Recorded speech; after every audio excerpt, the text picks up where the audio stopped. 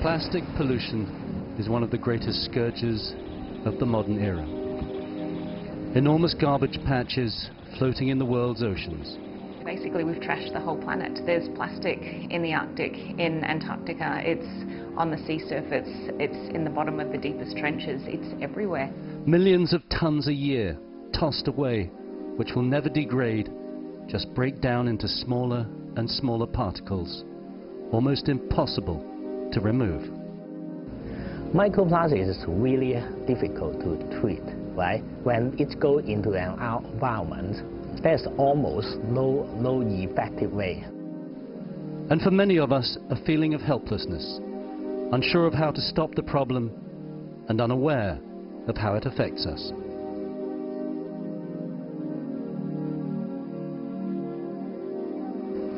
60% of the world's ocean-borne plastic pollution is coming out of just five countries. China, Vietnam, Thailand, Indonesia and the Philippines. On this week's program, we're going to look at why so much plastic is coming out of this part of the world, what impact it's having on marine life, and the problem of pollution that is so small you can't even see it, let alone clean it up. Thailand is one of the countries most at risk and at fault the resort island Phuket, but it now looks more like a paradise lost. Plastic bags, bottles and polystyrene boxes. But some aren't prepared to stand by and watch. These divers are volunteers who come together when they can to try and clean up the ocean floor.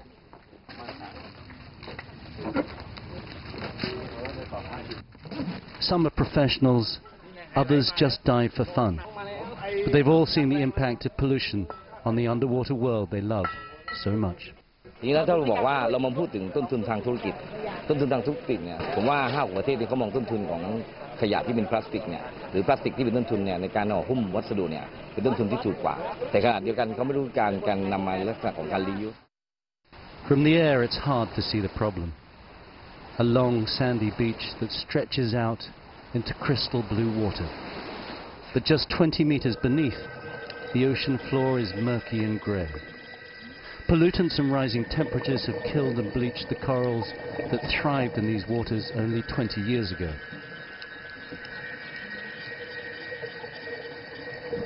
For the divers, it's slow and time-consuming work. Plastic nets and fishing lines are tightly entangled in the rocks and stones. Every little bit has to be cut and prized out, something they can't afford to spend too long doing as their tanks start to run low. Eventually they're forced back to the surface with their catch. The rubbish is weighed and catalogued, then taken for proper disposal. But facing the massive amount of waste, this is just a drop in the ocean. At a local rehabilitation centre, you can see the impact on some of the area's most endangered residents. Turtles are some of the largest sea creatures in these waters, loved by tourists, but in recent years, much harder to find in their natural habitat.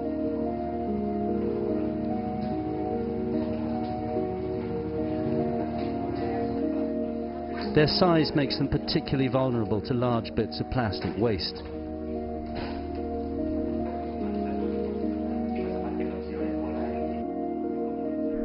That tangle or cut their flippers, cuts that become infected or cripple the graceful swimmers. A few lucky ones are delivered by fishermen to this centre. Most are washed up dead on the beach. And what about the damage that can't be seen? Threats that are less visible, but just as potentially lethal. Brightly coloured plastics look just like food in the water, snapped up by turtles and other marine life, and then enter the food chain. At some point, all the marine life eat that, including fish and shrimp, and then the fishing, the fishing boat catch that thing for us and at the end, you know, we consume those plastic too. All toxic contamination will come back to us. That's a huge problem for larger sea creatures. This pilot whale was found floundering in the Gulf of Thailand. Despite desperate attempts to keep it alive, it finally succumbed to death after throwing up plastic for days. An autopsy revealed more than 8 kilograms of plastic bags in its stomach.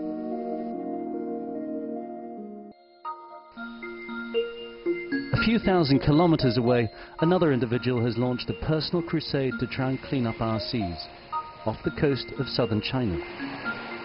I guess it started when I moved to Hong Kong about 12 years ago and I'd stopped working and uh, I had uh, I went to the beach. I had a very small child, had a lot of free time on my hand, and was uh, shocked actually at the rubbish that was on the beach. I'd never seen it um, before. Tracy organised a beach cleanup, then another, and then another. Fast food containers. Um, you know, it's excessive packaging a lot of the time, and just, you know, there's other alternatives. These, uh, these companies don't use styrofoam all around the world. Um, in the US, they've, uh, they're banning styrofoam. Australia, they don't use styrofoam anymore at McDonald's and Kentucky Fried Chicken, so why do we still have that product here? Tracy does what she can.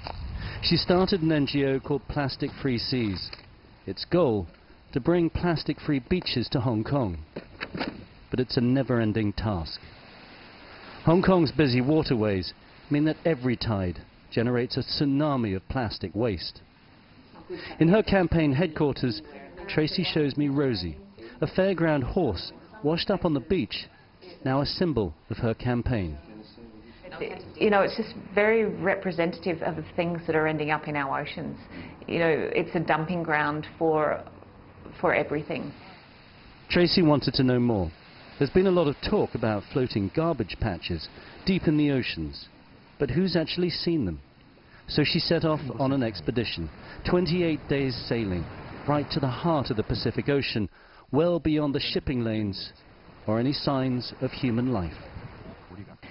It was not what I expected at all. I mean, the middle of the ocean is actually stunning. It's uh, the colour of the water is beautiful. There's albatross flying. Um, it's really an amazing remote place.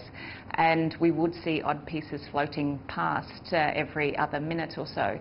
But it was when we brought in the trawls that was when we really knew that we were in the middle of the garbage patch because they were just so full of microplastic particles. There was thousands of pieces.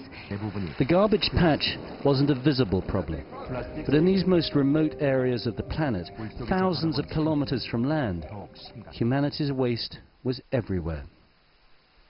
Big floating landfills like you have in your mind when people say it's a, a, garbage patch out there, but it was more like a soup, a plastic soup of um, tiny broken down pieces of plastic, and in the middle of the garbage patch, it was a lot more concentrated. Back home in Hong Kong, Tracy started thinking about what she'd learned. Hong Kong is one of the world's busiest ports and sits below the Chinese mainland, one of the world's largest manufacturing bases. But would that account for so much pollution? Why does the West consume so much plastic, yet Asia get blamed for the problem? The answer was in the containers. You know, the US sends their recycling to Asia, so they're sending a phenomenal amount of plastics that they're not willing to deal with over there um, for countries to deal with here. Um, whether or not the infrastructure is in place to deal with all of this plastic, not all of it can be recycled. So what happens when we've got countries all around the world sending it here and then blaming, blaming Asia for the problems? And once inside Asia, the trail becomes even more complicated a lot gets shipped to China. If they can't process there, they can ship it onto the Philippines or somewhere else down the line. So it's really a very non-transparent um, industry of, of where our trash ends up. Containers full of plastic waste, carefully sorted for recycling by individuals trying to dispose of their rubbish in a responsible manner. Then shipped to countries that neither have the resources nor the skills to deal with it. We would see this for ourselves when we visited an abandoned warehouse close to the Gulf of Thailand. Since China banned the import of plastic waste, much has been redirected to Southeast Asia. Mountains of consumer plastic, bundled for recycling, but abandoned. Asia has become the dumping ground for the world's guilty problem. After the break, Tracy starts to delve under the surface to find out how serious the problem is in the waters around Hong Kong. We look at the microplastics we're flushing into the seas that can't be cleaned. And we meet the scientist who's trying to find out how much plastic has already entered into the food chain and what that might be doing to us.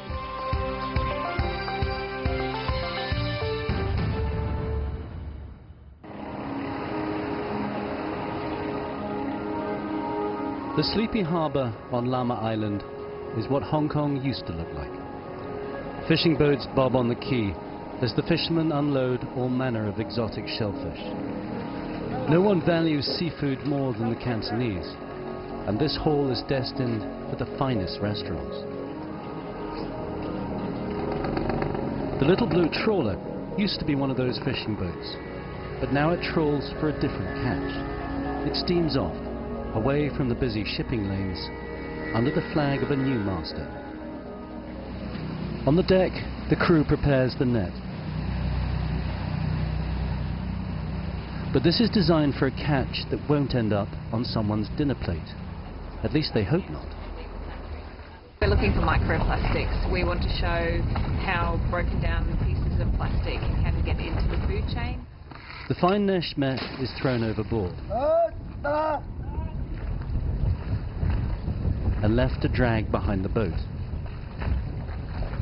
These are breeding grounds, and what's in the sea is eaten by the fish. After a while, the crew haul in the net.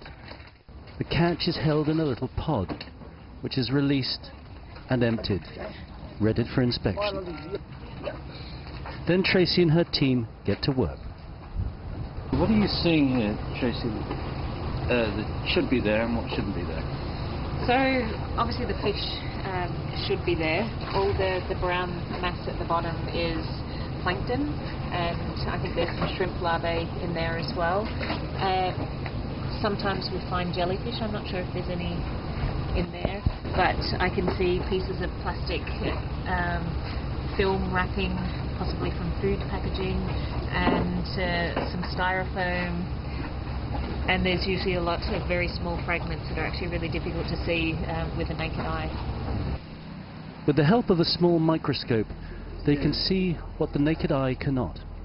Lots of tiny fragments of plastic, broken down from their original size, all of which are very attractive to fish. And amongst them, a few tiny coloured plastic balls, microbeads. It is uh, known that microplastics, um, microbeads are being ingested um, by a lot of filter feeding um, marine life like mussels and clams and things like that. Uh, we find when we do our sea surface trawls on our boat, uh, we can see microbeads in the water, um, tiny red balls or blue balls, um, you know, very obvious that they're designed plastics. It's not coming from fragments, they're supposed to be round balls of plastic. So we know that they are getting into the, into the sea. We know that uh, they're just the right size for some of the fish that we catch as well. As if degraded plastic wasn't bad enough, technology has now added an even bigger problem. Many consumers are now wary of plastic packaging and containers and try to use alternatives. But there is increasing concern about microbeads, tiny little bits of plastic that's being used in cosmetic products to provide an abrasive quality, things like face scrubs or certain types of toothpaste. And we're going to go and see what we can find on the shelves of an ordinary chemist. We've got a phone app here called Beat the Microbead, and by scanning the product barcode, we should be able to tell whether they contain microbeads or not. On the shop shelves, thousands of different products. Although some countries have banned microbeads, their use is still widespread. None of them advertise that they contain microbeads, but it was easy to find some that do. So we definitely got something here. At this time, the product still contains microplastics. Well, it wasn't hard to find products containing microbeads. They are in many of the pharmacists here, and we found one of the worst offenders. This popular face scrub, which in a 130 gram tube is estimated to contain more than 1.4 million microbeads, which will not be stopped by the sewage system. When you wash them off your face, they go straight down the drain and out into the open seas. Billions of tiny little plastic balls, too light to sink, bobbing about close to the surface, brilliantly coloured to catch the eye, the perfect fish food.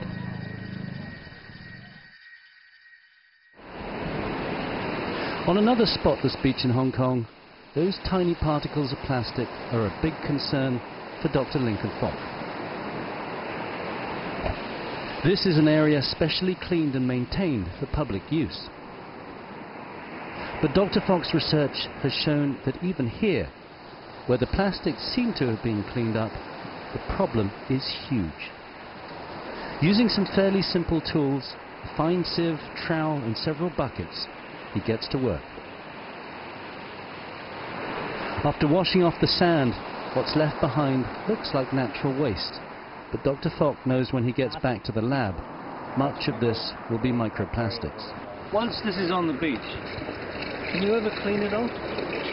Microplastics is very difficult to clean. It's all part of a much wider study he's undertaken in Hong Kong and southern China.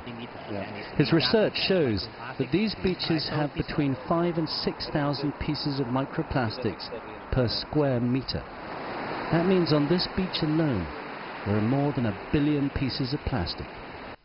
South China, on average, 6,000. In Hong Kong, 5,000 something. Um, South Korea, um, if I, I, have not remembered the exact number, is a little bit less, maybe um, 4,000. In the US, it's 2,000 something.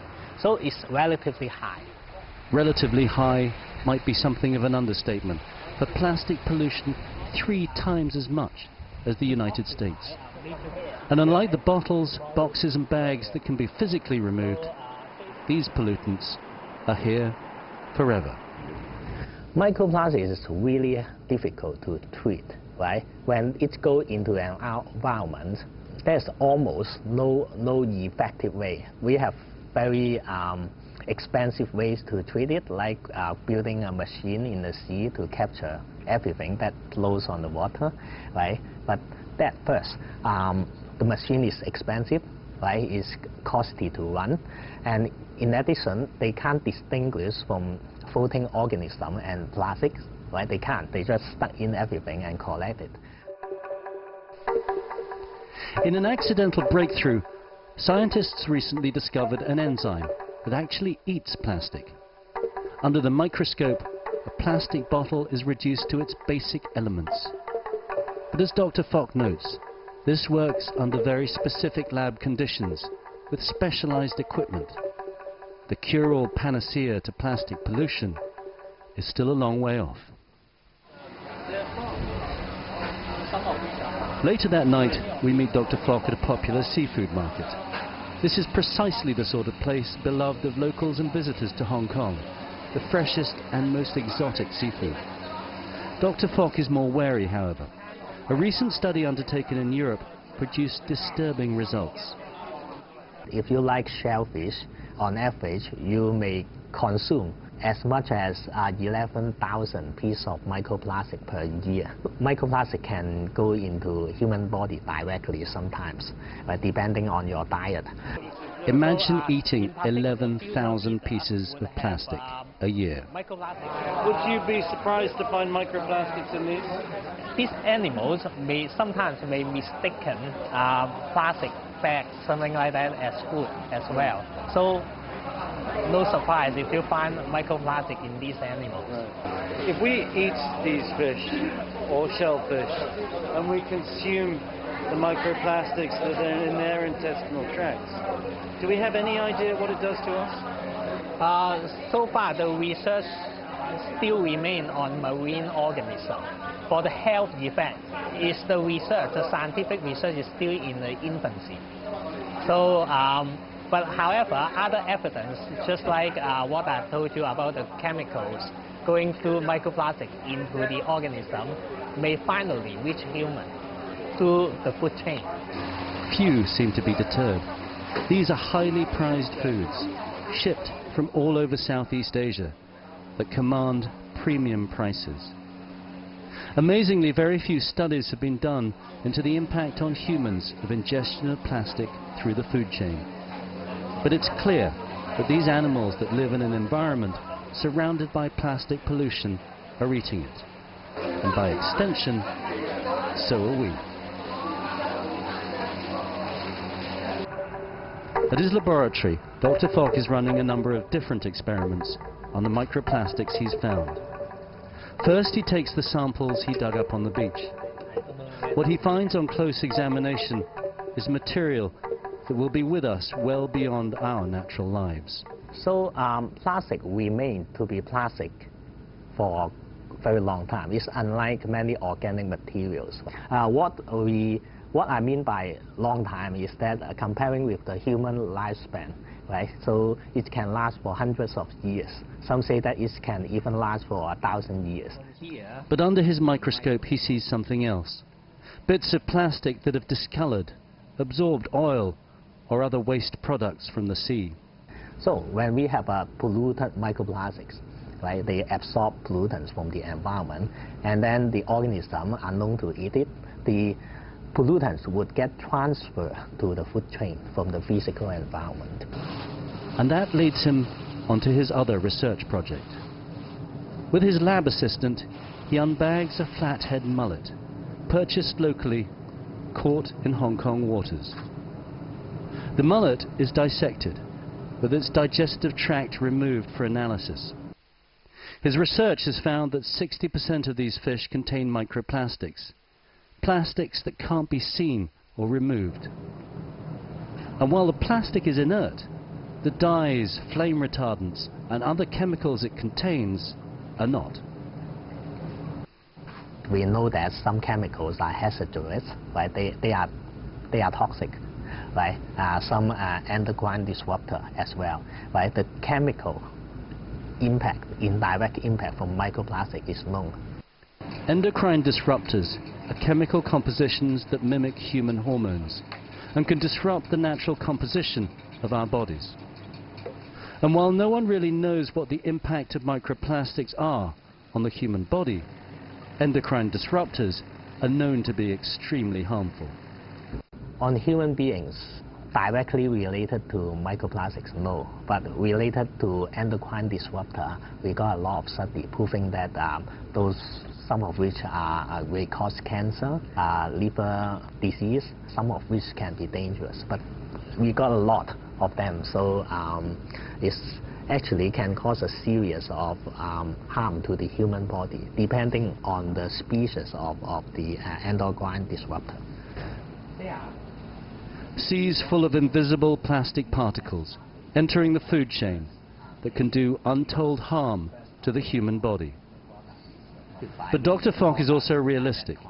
He knows that plastic is too cheap and too useful to replace. Of course, they are not uh, willing to do that. So there's a dilemma, as I've said. It's so useful, that's why we use a lot of it. And ultimately, despite all the evidence he and his colleagues have accumulated, all of the campaigns to stop using plastic bags, bottles and straws, it's probably already too late to turn back the tide. It would get worse, but uh, how much worse, uh, I, I cannot say. It would definitely get worse because uh, there's no way to um, control um, this type of pollution effectively. Hong Kong is an excellent example of how mankind can thrive in unexpected circumstances. A huge high-rise metropolis, perched atop an unlikely island. But it also illustrates how man can temper, control and command his environment, often with scant regard for the laws of nature. And in our plastic-filled oceans, we've done the same. More countries are now discussing the banning of products that contain microbeads and trying to find alternatives to plastic packaging with products that break down when they get into the sea. But dealing with the enormous amount of waste already in the world's oceans is a daunting task. And we still don't really know what it's doing to the environment to marine life or even to human beings. But that's all the time we have for this week. If you'd like to find out more about the show, please go to our website, www.simon-asia.com. I'm Tony Cheng. Thanks for watching. This is Assignment Asia. And if you'd like to find out more or contribute ideas for future shows, then please get in touch on social media.